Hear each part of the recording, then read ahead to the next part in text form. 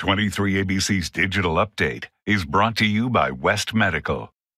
Good evening. I'm Tim Callahan. And I'm Jessica Harrington. Here's what's making headlines around Kern County. The California State Senate marked the anniversary of D-Day with a resolution introduced by local Senate Republican leader Shannon Grove. State Resolution 53 officially recognizes June 6, 2019 as the 75th anniversary of the invasion of Normandy, also known as D-Day. Grove saying in a statement about the resolution today that, quote, we can never forget the brave soldiers who invaded the beaches of Normandy during the early morning hours of June 6, 1940. 44. Justin Fleeman, the Kern County Sheriff's deputy who ran and lost a bid against Sheriff Donny Youngblood last year, announcing he was terminated from the department, plans on filing a lawsuit. Former deputy telling 23 ABC he was terminated from the Kern County Sheriff's Office last Wednesday. His termination confirmed by County Counsel. Fleeman says he believes he was let go of his campaign uh, because his campaign, I should say, for sheriff uh, against Donny Youngblood, and he will now be filing a lawsuit reportedly in the coming months. Tomorrow, the Riverwalk Amphitheater will be turned into the Sing Out, Speak Out Youth Commission event. The event is aiming to promote youth interaction in local government and engage the empowerment of youth in the community.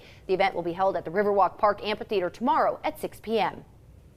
And we'll see nice conditions tomorrow as temperatures are going to be falling into those mid 80s. So expect a high of 85 degrees. Breezy conditions as high pressure moves throughout the county. And then we'll jump back into those low 90s on Saturday, a high of 90. And then look Sunday, Monday, Tuesday, and Wednesday uh, back in those triple digits. That's your latest news and weather. You can find the top stories anytime at turn to 23.com.